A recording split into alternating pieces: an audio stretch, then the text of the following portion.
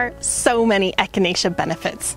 And yes, while echinacea tincture is an excellent herb for the immune system, that's just one of echinacea's many gifts. With this episode, you'll learn the best ways to work with echinacea, including my favorite way, which is totally underrated, and I'll show you how to make a potent echinacea tincture. Hello, and welcome to the Herbs with Rosalee podcast, a show exploring how herbs heal as medicine, as food, and through nature connection. I'm your host, Rosalee de la Forêt. I created this YouTube channel to share trusted herbal wisdom so that you can get the best results when relying on herbs for your health. I love offering up practical knowledge to help you dive deeper into the world of medicinal plants and seasonal living. Each episode of the Herbs with Rosalee podcast is shared on YouTube as well as your favorite podcast app. Transcripts and recipes for each episode can be found at herbswithrosaleepodcast.com or through the link in the video description. Also, in the video description, you'll find other helpful resources. For example, to get my best herbal tips, as well as fun bonuses, be sure to sign up for my weekly herbal newsletter. Okay, grab your cup of tea and let's dive in. Echinacea has become somewhat of a poster child for herbal medicine, and with good reason. Echinacea is endemic to North America, and many Native American tribes have been working with it for thousands of years. There are so many echinacea benefits for so many things that eclectic physician herbalists who were a part of mainstream medicine in the early 1900s and 1800s were strongly drawn to it.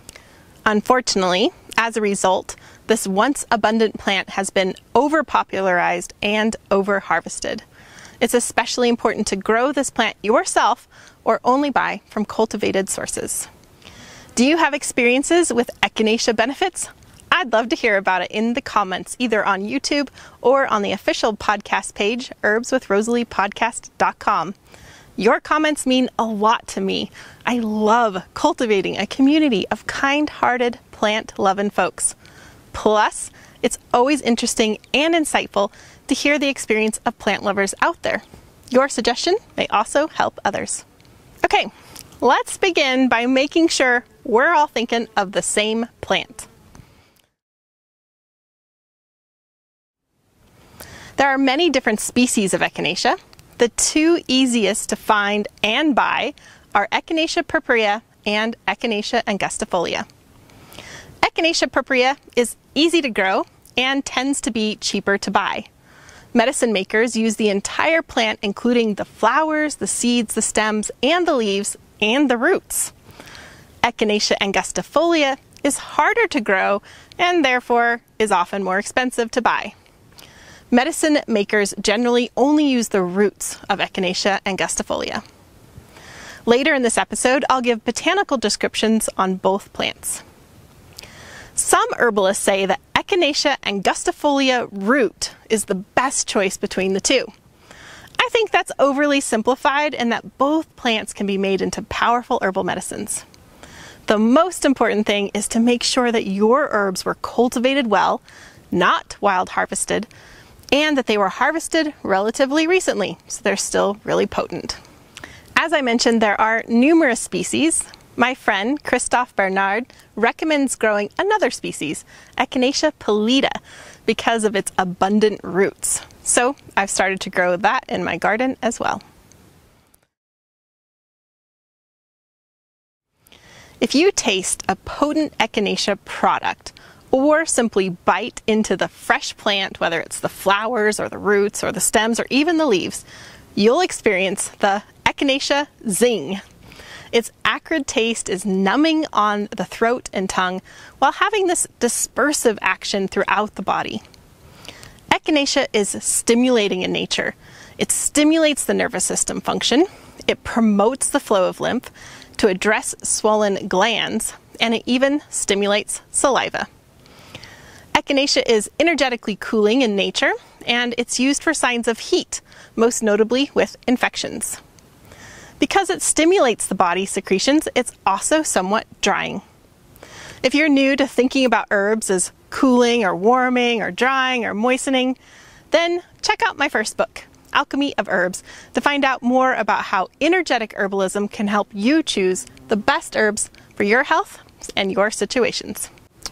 Echinacea is what herbalists call an alterative herb, which broadly means to alter or move someone towards health.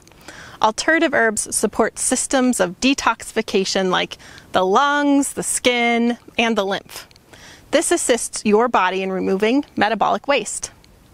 My friend and fellow herbalist Jim McDonald has a great analogy for this. He says alterative herbs are like cleaning out the ash and soot buildup in a wood stove. Once that buildup is removed, the stove works more efficiently. As I mentioned, eclectic physicians popularized the widespread use of echinacea. They learned about echinacea benefits from Native Americans who had been relying on echinacea medicine for thousands of years. Once echinacea was brought into use within the eclectic literature, it quickly became a favorite medicine. Eclectics considered echinacea above all to be an alterative. The King's American Dispensatory, an eclectic textbook written by King and Lloyd in 1898, wrote Echinacea is an alterative, exerting an influence over the secretory and lymphatic functions, which is unsurpassed by few, if any, other known alteratives. While echinacea is most popular today for its ability to help with colds and the flu, where echinacea really shines is in its ability to help the body fight off bacterial infections. I think this echinacea benefit is so underrated. One of my favorite ways to work with echinacea is for people with recurring boils, acne, or other types of skin abscesses. For best results, work with the herb both internally and externally. An in vitro study concluded that an Echinacea purpurea could provide a safe twofold benefit to acne individuals by inhibiting proliferation of the organism and reversing the bacterial induced inflammation. Long known as the toothache plant, Echinacea tea or diluted tincture can be swished in the mouth frequently to address tooth infections or ulcerations of the oral mucous membranes. A pilot study showed that an oral patch containing Echinacea purpurea, gotu kola, and elderberry was effective in reducing inflammation associated with gingivitis. Herbalists regularly use echinacea as part of a formula for addressing urinary tract infections. Infected wounds and scrapes also do well with echinacea, again, using the herb both internally and externally. Eclectic herbalists used echinacea for many other types of infections, including syphilis, chronic leg ulcers, gonorrhea, rabid dog bites, and septicemia. The first popularized use of echinacea for the eclectic herbalists was for rattlesnake bites we can trace this story back to the self described doctor H.C.F. Meyer. Historical references say that Dr. Meyer had learned about using echinacea for rattlesnake bites from a Native American woman. He then experimented with it for a number of years before going to Dr. John King and John Uri Lloyd with his findings. These were two famous eclectic herbalists. HCF Meyer claimed he had treated many cases of rattlesnake bites in animals and humans using his special blend of herbs, which included echinacea, hops, and wormwood. At first, he was brushed aside for making such outrageous claims. Dr. Meyer offered to send Dr. King an eight foot long rattlesnake so he could experiment with treating animals who had been bitten. Dr. King declined, which is exactly what I would have done had someone offered to send me an eight foot long rattlesnake. Dr. Meyer then offered to travel to Dr. King and allow himself to be bitten by the snake to prove the efficacy of his herbal formula in person. You gotta admit that this guy had a go get 'em attitude. Dr. King again declined, but the persistence of Dr. Meyer inspired him to take a closer look at echinacea. Although Dr. Meyer didn't get bit by the snake in front of Dr. King, there are reports of him willingly getting bitten by rattlesnakes in order to prove his remedy's effectiveness. In 1919, eclectic physician Finley Ellingwood reported that Dr. Meyer willingly injected himself with the venom of a rattlesnake on his right hand. After six hours, significant swelling had reached all the way to his elbow. He then dosed himself with his blend of herbs, taking them both internally and externally, went to sleep, and woke up four hours later to find that the pain and swelling was gone. So I'm going to be really clear about something. I don't recommend getting bit by a rattlesnake to try this remedy. Okay, now that we have that issue sorted, we now know that echinacea works by inhibiting hyaluronidase, the enzyme found in rattlesnake bites, which causes the body tissues to melt and be damaged. In this day and age, if you're hiking through rattlesnake country, certainly pack your echinacea tincture. I'll show you how to make it in just a bit. If you happen to get bitten by a venomous snake, take your echinacea tincture liberally, like one to two ounces, on your way to the emergency room to get the anti-venom. In addition to rattlesnakes, eclectic physicians also used echinacea for spider bites, wasp bites, bee stings, and scorpion stings, some of which can contain that same flesh dissolving enzyme. Today, echinacea is one of the most popular herbs, and it's especially well known for warding off colds or the flu, which is actually a more recent application of this herb. One meta analysis of several studies concluded that evidence indicates that echinacea potently lowers the risk of recurrent respiratory infections and complications thereof. Immune modulatory, antiviral, and anti inflammatory effects might contribute to the observed clinical benefits, which appear strongest in susceptible individuals. Another recent study showed that a patent formula of Echinacea purpurea was just as effective as a commonly prescribed influenza pharmaceutical drug. Plus, those taking the herbal formula had fewer side effects. Echinacea is also safe and effective for kids. One clinical trial showed that children taking echinacea for several months had significantly fewer colds and flu symptoms, as well as fewer secondary bacterial infections as compared to those simply taking vitamin C. A 2021 randomized controlled trial showed that outpatients suspected of having COVID 19 who took echinacea and ginger had better improvements in coughing, dyspnea, and muscle pain than those who did not. Another randomized controlled trial regarding echinacea and COVID 19 showed that taking echinacea preventively, as well as for acute symptoms, had significant benefits, including a reduction in viral load, a reduction in days with fever, and decreased hospitalizations. Echinacea has long been used for sore throats by Native Americans, eclectic physicians, and modern day herbalists. In this case, a throat spray or other direct application is best. In vitro studies have shown that Echinacea purpurea is active against the bacteria that causes strep throat. Another powerful effect of echinacea during a cold or flu is for the reduction of swollen lymph glands. Eclectic physicians also used echinacea to support the fever process for a variety of febrile conditions such as typhoid and malaria. Echinacea undoubtedly works in a myriad of ways that we are only beginning to comprehend. One way that echinacea works is to stimulate the immune system. We know that echinacea can increase phagocytosis, an immune system response that involves phagocytes engulfing and destroying microorganisms, as well as damaged or old cells and other cellular waste. Phagocytosis is a major way that the immune system removes various pathogens, bacteria, and cellular debris. Echinacea can also increase white blood cells and positively affects NK cells, leukocytes, and T cells. There's also evidence that echinacea is an immunomodulator and that it can dynamically balance the immune system's response. There are many species in the Echinacea genus, and all are herbaceous perennial plants. They used to grow abundantly in eastern and central North America. Echinaceous plants have recently been hybridized into cultivars for gardeners. Echinacea angustifolia and Echinacea purpurea are the most commonly used species for medicine.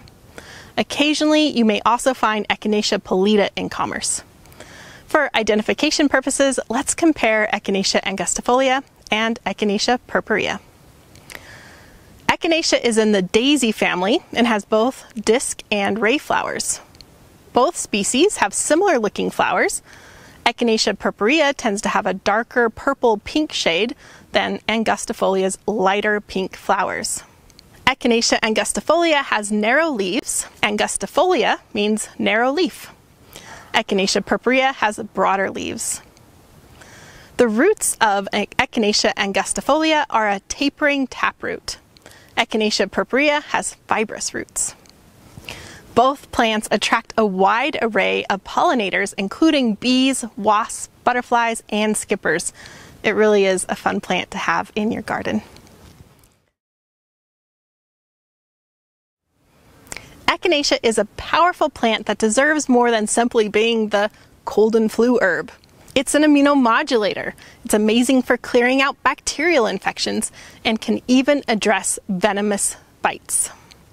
But before I share how to make an Echinacea tincture, let's talk Echinacea safety.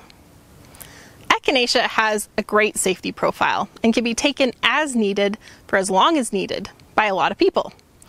There's a common misperception that you need to periodically stop taking Echinacea. This comes from a misinterpreted German study. While it's fine to take Echinacea long term, I also believe in listening to your body to figure out what's best for you. Echinacea is considered safe for pregnancy and during breastfeeding.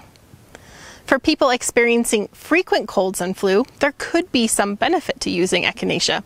However, I'd avoid using it as a prop for your weakened immune system. Instead, also consider therapies to build up the health of the immune system, like rest, a nutrient dense diet, regular exercise, joyful experiences, vitamin D supplementation, and tonic immune building herbs like astragalus or medicinal mushrooms. There is conflicting evidence that echinacea may adversely affect people with autoimmune conditions. It undoubtedly affects some people negatively with autoimmunity and not others. If you have an autoimmune condition, it's going to be safest to avoid this plant or to consult an herbalist to assess your individualized needs. Chances are that you probably won't be using echinacea to combat typhoid, malaria, or even rattlesnake bites. However, there are lots of indications for echinacea that can help us with common conditions.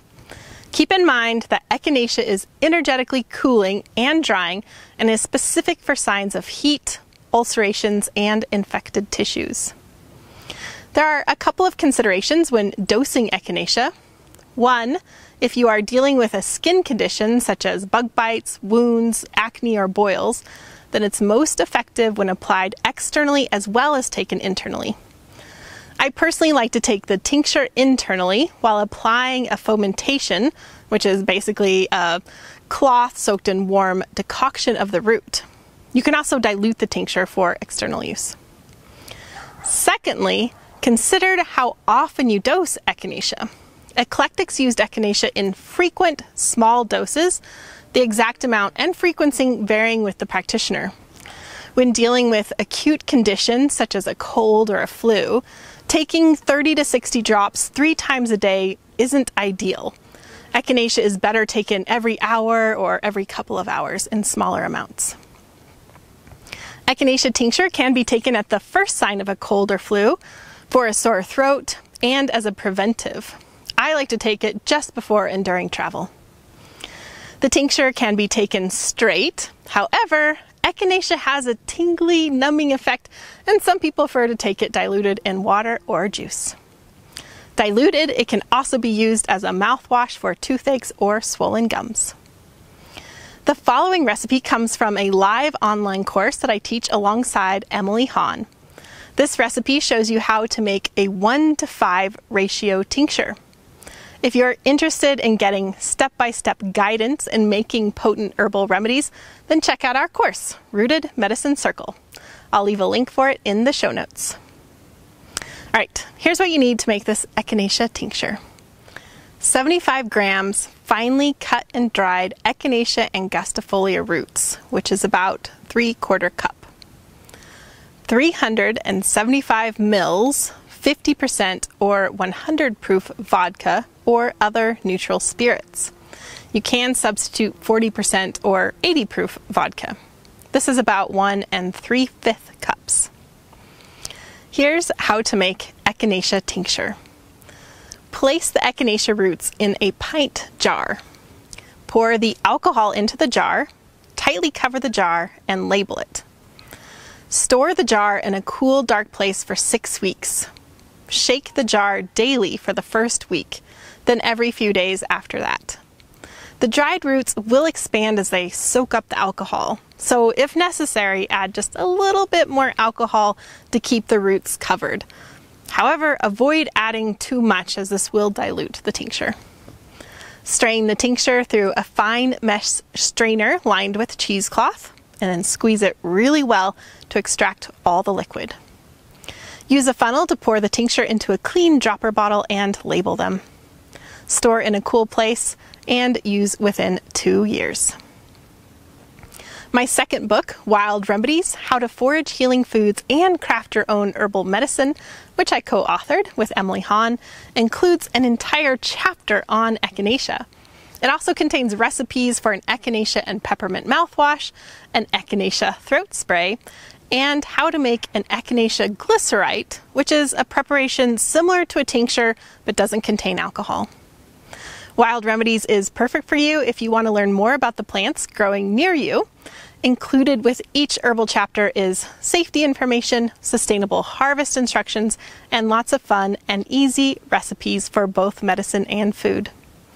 You can find Wild Remedies wherever books are sold, and then check out the back of the book to get simple instructions on getting your exclusive bonuses, including bonus chapters and an herbal documentary series. If you'd like a free printable recipe card of this echinacea tincture recipe, then visit the link in the video description. Also, pick up a copy of our book, Wild Remedies, to get more insights and recipes for echinacea and many other plants.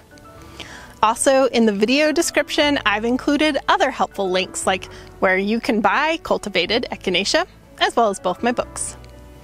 If you enjoyed this video on echinacea benefits and you value trusted herbal information, then I hope you'll stick around. The best way to get started is to hit the subscribe button and ring the notification bell so you can be the first to get my best herbal tips and recipes. Here's your echinacea fun fact. The word echinacea is derived from the Greek word meaning hedgehog. It got that name because the center cone of the echinacea flowers is spiky and looks like a hedgehog.